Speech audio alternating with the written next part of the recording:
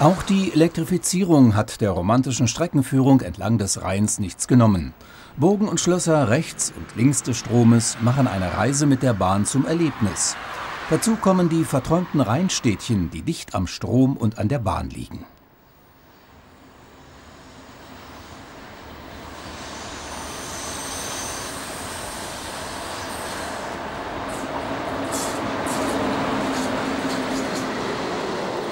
Schon 1844 wird die erste Teilstrecke zwischen Köln und Bonn entlang der linken Rheinseite eröffnet.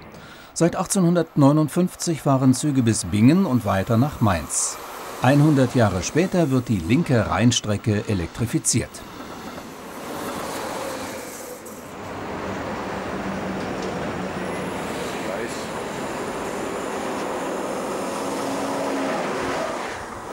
Bis heute gehört sie zu den wichtigsten Eisenbahnstrecken der DB.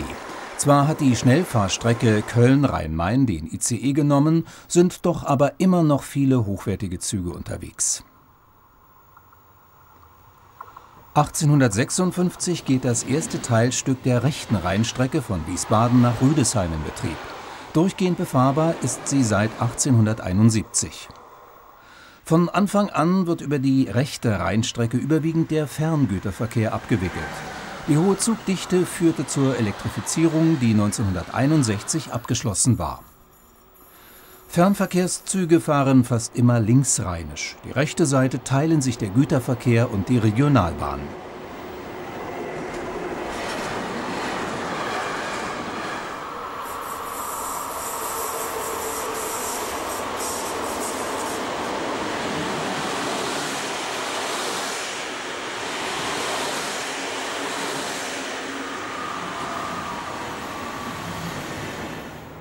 So fahren nun schon seit 50 Jahren Züge auch rechtsrheinisch unter Draht.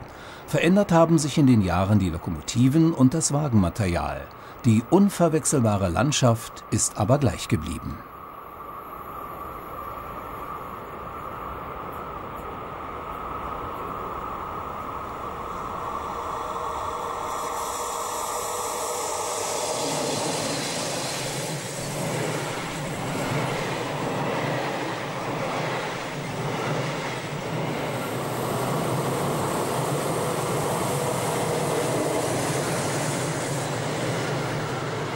Zuerst waren es Einheits-E-Loks, heute sind es meist moderne Drehsturmlokomotiven, die den langen Güterzügen vorgespannt sind.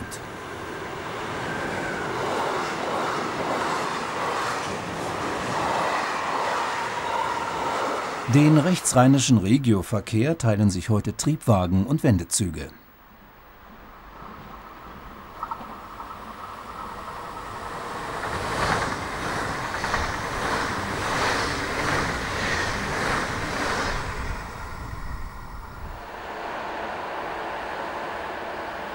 Die Rheinstrecken werden auch in Zukunft nichts an ihrer Faszination verlieren.